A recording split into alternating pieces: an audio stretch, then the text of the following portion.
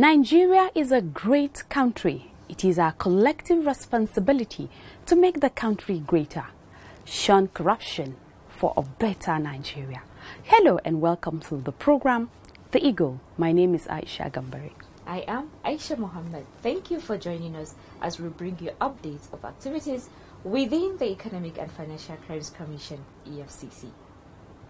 On the program today, Acting Chairman of the Economic and Financial Crimes Commission EFCC, Ibrahim Mustafa Magu, has expressed the readiness of the Commission to assist the Cameroonian government in the area of asset tracking and recovery. Just as the Commission, with a view to effectively tackle corruption in Nigeria, reaffirmed its readiness to strengthen relationship with Microsoft Nigeria Limited. Also today is a special feature on the challenges of cameramen face in getting pictures of accused persons in court.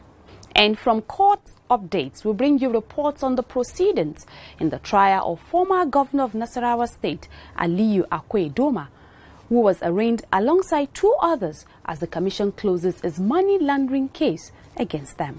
Please stay with us as we take our first break today. The program continues shortly. Don't go away. Imagine a society where everything works. Durable road networks, stable electricity supply, portable water, well-equipped and functional healthcare facilities, quality education for all, affordable housing schemes, social security benefits, job creation and a lot more that makes life comfortable to live. That is an ideal society. We can only achieve these if we all play our part. Say no to corruption to enjoy these benefits. Kill corruption to save Nigeria. This message is from the Economic and Financial Crimes Commission, EFCC. Welcome back. We begin today with the visit of the Cameroonian officials to the EFCC head office in Abuja. Acting chairman of the commission, Ibrahim Mustafa Magu, who received the delegation, expressed the readiness of the commission to assist the Cameroonian government in the area of asset tracking and recovery. Golden Agu has more. Magu, while thanking the five-man delegation for choosing the EFCC as a partner in recovering looted funds, said the Commission will be willing to exchange ideas and experiences with Cameroon in necessary areas. I just want us to interact in the interaction, let us share ideas, you know, how we can move the both the two organizations uh, we move forward. It doesn't mean uh, we have our strengths and we have our weaknesses. Uh, so it's, it's, just going to be a kind of an exchange of ideas. We will take you around, they will brief you. Earlier, the leader of the delegation, Ase Joseph Malego, stated that the success story of the commission had traveled far and wide through different media. Malego said the activities of the commission are laudable and the Cameroonian government is happy to identify with the success stories. He commended President Muhammadu Buhari and the Magu-led EFCC for the efforts in ridding Nigeria of corruption, adding that the actions of the commission is what endeared Cameroon to Nigeria. The President of the Republic of Cameroon delegated this team to come here and share the Nigerian experience. Want to say, if press report is anything to go by, your action is quite laudable and commendable. He also appealed to the EFCC boss to share his experience in the areas of asset tracing, freezing, and recovery, as well as how the recovered assets were being plowed back into the country's economy. In a related development, the acting chairman of the EFCC, Ibrahim Magu, has reaffirmed the Commission's preparedness to strengthen relationship with Microsoft Nigeria Limited, with a view to effectively tackle corruption in Nigeria. Magu gave the assurance while receiving the country's representative and managing director of Microsoft Nigeria Limited, Kabelo Makwane, who was at the Commission's head office in Abuja on a courtesy visit. The EFCC boss, who stressed the importance of the use of modern technology in fighting all shades of graft, said the Commission will continue to work with Microsoft for mutual interest. Makwane, who led the delegation, lauded the renewed vigor deposed by the EFCC in fighting corruption in Nigeria. He said they were the commission to rekindle their friendship with the EFCC and to participate fully in protecting its intellectual properties and rights. While acknowledging the readiness of the anti-graft agency to partner with his organization, Makwane said Microsoft has enjoyed very productive and fruitful relationship with the EFCC in the time past. We are no stranger to, to the EFCC. Uh, we've been working and we've enjoyed a very uh, productive, uh, fruitful relationship in, in times gone by. Uh, but I thought it's uh, necessary, and hence why I've been forging on to make sure that we at least, you know, come and, and, and meet you here, pay our courtesy to meet you as the as uh, not so newly appointed uh, chairman anymore. Uh, I think you've been on seat for some time. And also to take the opportunity to commend you and the organization with a very noble and, uh, and courageous work that you've been undertaking, uh, you know, in, inside the country, through and out Nigeria here, uh, in really championing uh, the mandate of uh, our dear esteemed president, uh, you know, around the areas of anti-corruption and economic financial integrity. In his company were other members of the Microsoft team in Nigeria. Golden Agu, reporting for the Eagle. Glad to have you back. Next is our special report. The report showcases the many challenges faced by the EFCC cameraman in getting pictures of accused persons in court. Most of the accused persons, out of shame, put up different antics to avoid their faces being captured. But despite the drama, our cameramen succeed in winning the hide and seek game. This report was written by Suleiman Babatunde Gafar and presented by Rolake Odofin Jolayemi. Over to you, Rolake. By all standards, Air Vice Marshal Olutayo Oguntoyinbo has reason to thank his stars. Providence, no doubt, has been most kind to him, having placed him above some mortals in life. However, it is simply inconceivable why a man of his status would allegedly involve in a deed that is capable of rubbishing his integrity. Oguntoyinbo, while being the Chief of Training and Operations, Nigerian Air Force, allegedly collected 166 million naira as gratification from a contractor with the Nigerian Air Force, Societe d'Equipement International Nigeria Limited. The Act contravenes Section 17A of the Independent Corrupt Practices and Other Related Offences Act 2000 and punishable under Section 17C of the same Act. Perhaps if he didn't realize the damage that greed could bring upon him, he knew better recently when he was dragged by the Economic and Financial Crimes Commission, EFCC, before Justice Olukayode A. Adeniyi of the Federal Capital Territory High Court, sitting in Apo, Abuja, on a one-count charge bordering on bribery. Aware that his shameful act was being brought to the open, he played hide and seek with our cameraman while he was being led to the court. Indeed, to say that he put up all sorts of imaginable drama to escape the lenses of a camera is to put it mildly. In one of the scenes, he lowered his head and attempted to cover his face with his left palm, thereby making it difficult for the cameraman to capture his image. In another strange posture, he pretended to be thirsty and quickly grabbed a bottle of chilled table water, with which he also tried to cover his face, and at the same time, he acted to be having a phone conversation while leaving a cameraman sweating it out to capture his face.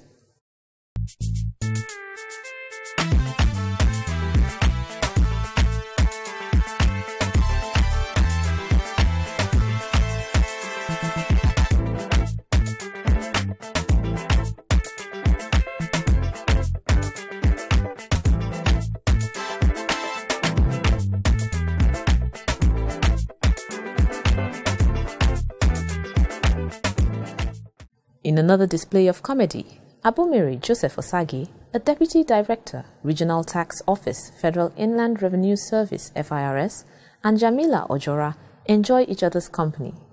They want all the comforts of life and love to live big, so they often strategize to continuously remain relevant in the society. They had been at the game for a while, but not many knew the secret behind their closeness. However, they their hitherto kept secret became public knowledge on March 10, 2016. For the duo, the game was up. On that day, there was a twist to their stories, and they could only wish that the ground would open up and swallow them. Nemesis seemed to have caught up with them when they were arraigned by the Commission before Justice O.O. Goodluck of the FCT High Court, sitting in Maitama, Abuja, on a two count charge bordering on criminal conspiracy and receipt of gratification to the tune of 5 million naira.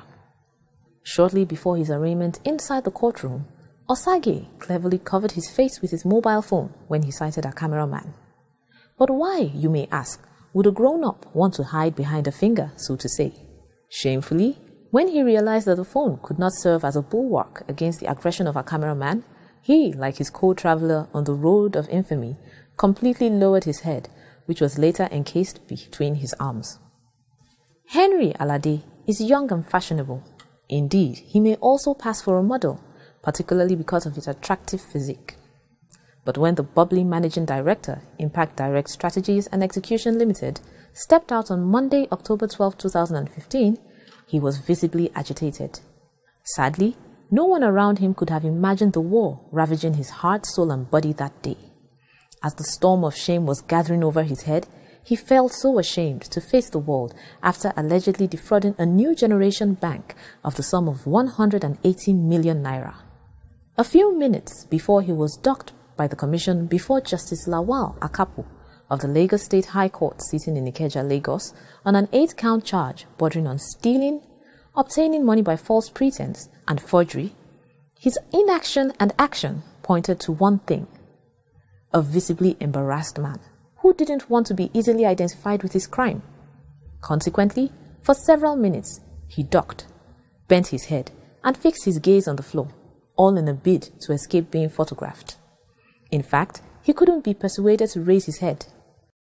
As a Christian, Chief Adekunle Ominikun Shobowale must have come across a number of verses in the Bible that frown against any act of indiscipline. He must have also listened to his pastor at different times in church, urging Christian faithfuls to shun fraud and other vices. But it seems the Shobowale has never been moved either by the biblical injunction or by his pastor's homily. To him, the end justifies the means. In Shobowale's thought, the day of reckoning only exists in the realm of spirituality. As a result, he threw caution to the winds when he allegedly sold three acres of land located at Alahun village off Lekki Epe Expressway, Lagos, to one Daniel Obiajuju Mwakama for over 10 million naira. Faced with the result of his alleged wrongdoing, Shobowale did everything humanly possible to escape the lens of a camera before he was arraigned before Justice Kudirat Abike Jose of the Lagos State High Court sitting in Ikeja, Lagos on a five-count charge bordering on obtaining money by false pretense. But it was too late. His right hand, which he used to cover his face, couldn't do the magic. He was gripped by shame, and he couldn't beat a smart cameraman to the game.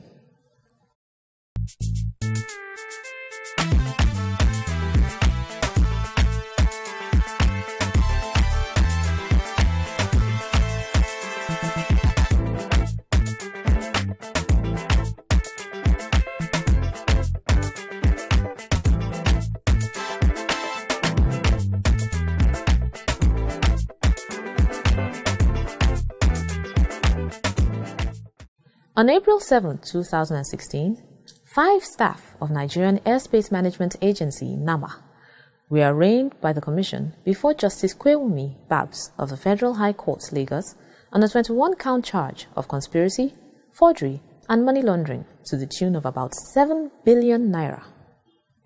The accused persons are Ibrahim Abdul Salam, Managing Director, Nnamdi Udo, a former Managing Director still at large, Adegorite Olumuyiwa, General Manager Procurement, Agbolade Shegun, General Manager Finance, Clara Alichi, Director Finance, Joy Ayodili Adegurite, Randville Investment Limited, and Molteng Travel and Tours. However, without recourse to exaggeration, Abdusalam and his cohorts, on the day of their arraignment, appeared like travelers who were returning home to the warm embrace of their loved ones. But bury the thought. There was more to the luggage held tightly in their hands. They seemed to have agreed on a ploy to escape the lens of our camera. The luggage they believed could be used as a shield to cover their faces against the harassment of our cameraman. So, while one woman covered her face with a travel bag, another used her scarf as a shield against the camera lens. Yet, one of the male suspects literally sought refuge in a newspaper, which he used to cover his face.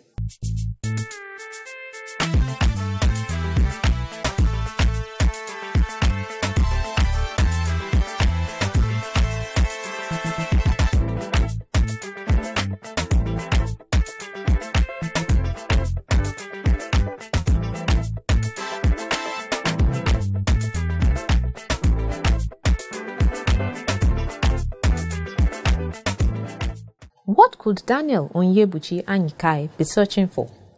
As he momentarily stood transfixed in the premises of the FCT High Court, Apo Abuja, on Tuesday, February 16, 2016, you wonder if he was grieving over a missing car key or a purse. Except you knew why he caught that image, you probably would take pity on him. But it was obvious that he was overwhelmed by the shame of being photographed when he was being arraigned by the Commission before Justice C.S. Oriji on a six count charge bordering on false pretense, criminal conspiracy, and forgery. It was a pitiable sight on June 2, 2015, when 10 officials of the Central Bank of Nigeria, CBN, and other banks were herded by operatives of the Economic and Financial Crimes Commission, EFCC, to the premises of the Federal High Court sitting in Ibadan Oyo state over an alleged circulation of mutilated bank currencies worth 8 billion naira. The suspects, who were arraigned in three batches, were accused of conspiracy as well as diversion and stealing of mutilated currencies and replacing them with newspaper cuttings. While awaiting the commencement of the day's proceedings before Justice Ayo Emmanuel, our cameraman made frantic efforts to catch their images. His task was not made any easy, as the suspects would not cooperate in any way. While some closed their eyes, pretending to be praying, a particular female suspect barred a cameraman from capturing her image as she looked down and covered her face with her head tie.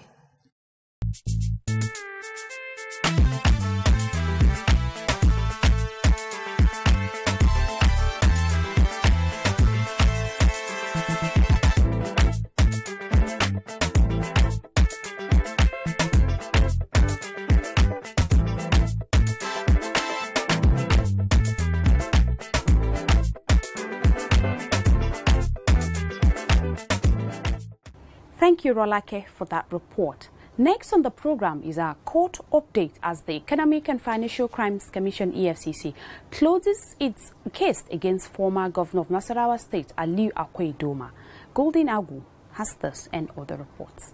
Akwe alongside Timothy Anthony Anjide, a former secretary to the state government, and Dauda Egwa, a former accountant general, are being prosecuted by the EFCC on a 10-count charge bordering on money laundering and financial crimes. The accused persons between January 2007 and December 2009 allegedly conspired and fraudulently laundered state funds to the tune of 8 billion naira, an offense contrary to Section 14, subsection 1A of the Money Laundering Prohibition Act 2004 and punishable under Section 14, subsection 1 of the same act. At the last hearing of the case, a prosecuting witness, Abdul Razak Salau, an operative with the EFCC, told the court how he met the defendants following different petitions and intelligence reports received by the commission. Led in evidence by Kemi Pinheiro, SAN, Salau told the court that investigation was carried out to establish the veracity of the allegations against the defendants. He said, and I quote, During investigation, the team saw movement of funds from the state government account to the secretary to the state government. Upon this discovery, we invited some of the state officials to give explanations as to the purpose of such transfers. In the course of the investigation, having analyzed the account and discovered that several funds were released. Officials in charge of finances were asked to provide payment vouchers relating to the release of such funds. Among the vouchers released were those marked special releases. When the team asked Katsa about the purpose of such releases, he said he could not give explanations.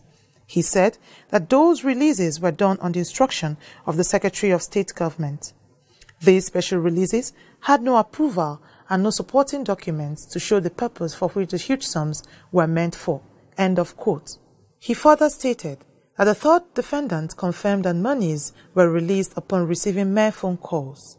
In his words, we discovered that monies were released and were tagged emergencies.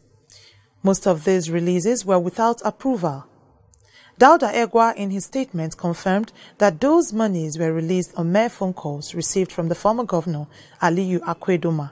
It was discovered that monies were released without memos or approvals, as officials in charge of finance were only called on the phone to release such monies on emergency. So it was not an error of classification. They were also released based on verbal instructions from the governor. End of quote. Statements of the first, second, and third defendants were presented to the court and were all admitted into evidence. The case has been adjourned to November 28, 29, 30, and December 1, 2016 for continuation of trial. Still on court matters, in line with its relentless efforts to bring in corrupt public officers to book, the EFCC arraigned Air Vice Marshal Rufus A. Ojuawo a former Director of Operations, Nigeria Air Force, before Justice M.B. Idris of the Federal Capital Territory High Court sitting in Apo, Abuja, on a two-count charge bordering on bribery to the tune of 40 million naira. Ojuawo, while being the Director of Operations, Nigerian Air Force, had in March 2015 allegedly collected the said sum and a Range Rover Sport utility vehicle as gratification from one Hima Abubakar, of Société d'Equipement International Nigerian Limited, a contractor with NAF. The offense contravenes Section 17, subsection A of the Independence, Corrupt Practices and Other Related Offences Act 2000 and is punishable under Section 17C of the same Act. The accused person pleaded not guilty to the charges when they were read to him. In view of his plea, the prosecution counsel, Francis A. Jibo, asked the court for a trial date. Responding, the defense counsel, R.A. Ojabo, urged the court to grant the accused person bail on self-recognizance. Having listened to both counsel, Justice Idris granted the accused person bail in the sum of 10 million naira with one surety in like sum. The surety must not be below the rank of an assistant director and must be resident within the jurisdiction of the court.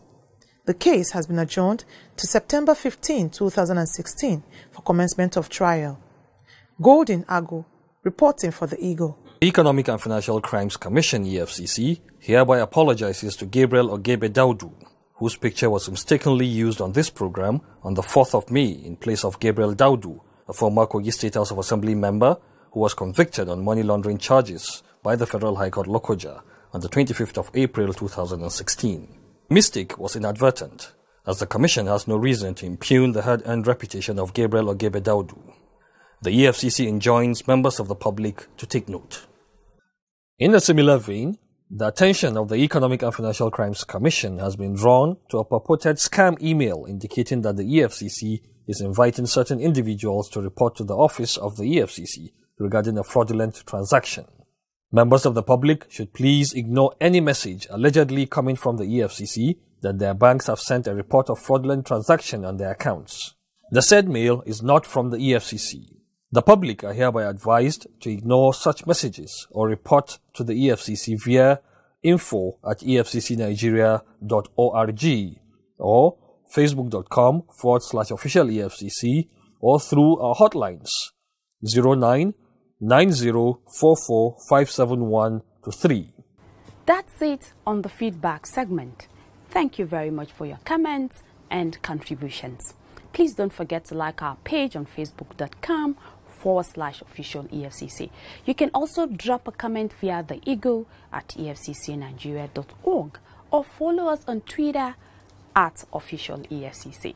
And to watch our videos, just click on youtube.com forward slash official EFCC. That's our package this evening. My name is Aisha Gambari. Thank you for watching and God bless Nigeria. And I am Aisha Muhammad. See you next week, same time on the same station. Goodbye.